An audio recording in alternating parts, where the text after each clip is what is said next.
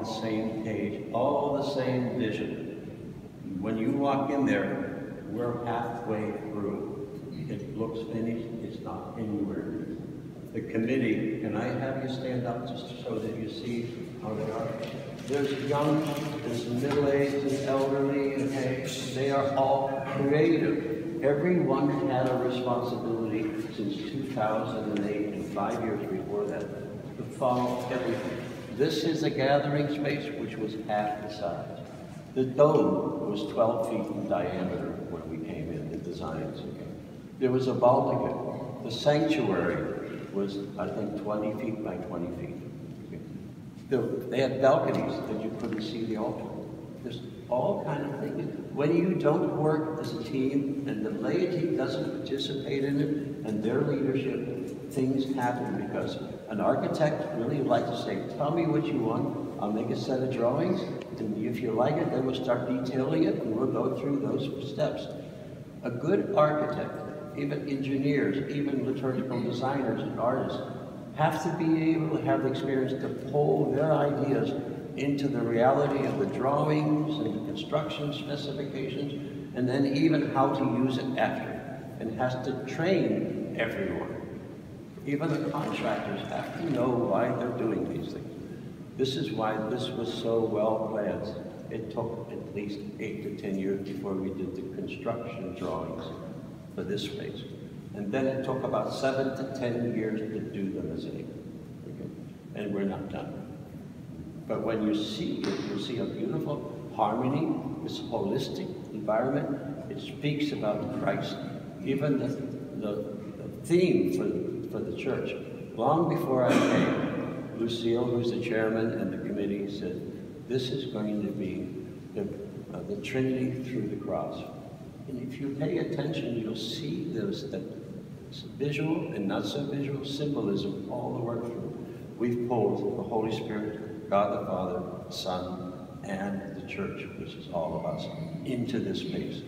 And that's why this can never end, because we are not finished with this vision. So now we can go in there, and I wanted you to know that it's not me, it's not the architect, it is really the people who made this happen. They educated themselves. They invited people. They questioned everybody. How can you help us? How can you help us?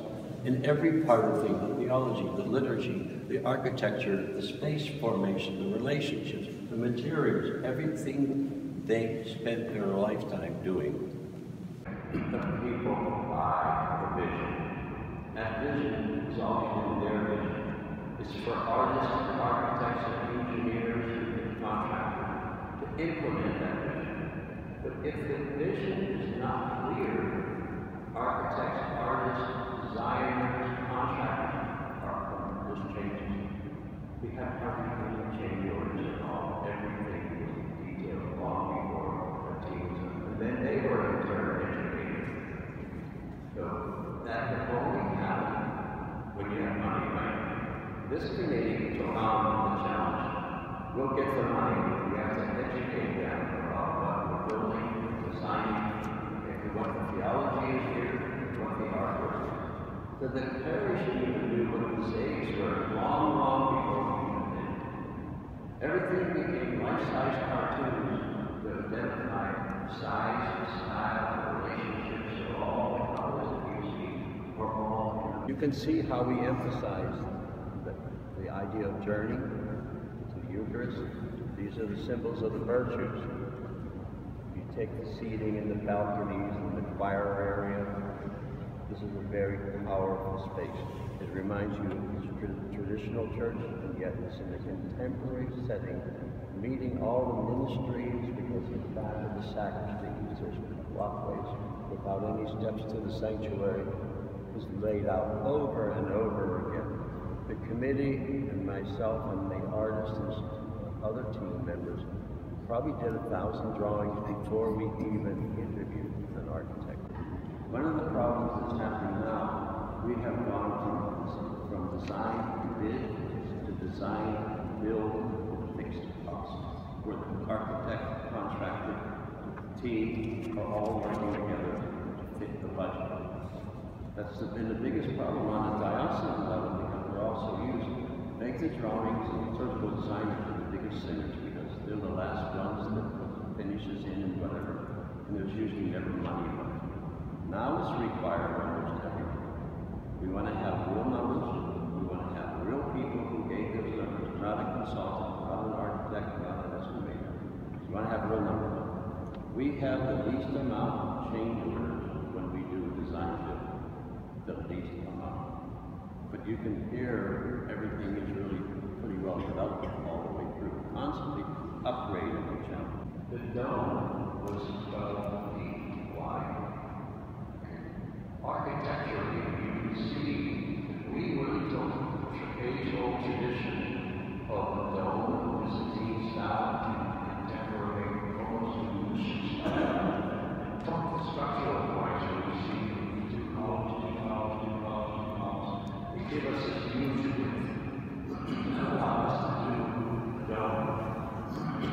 Traditional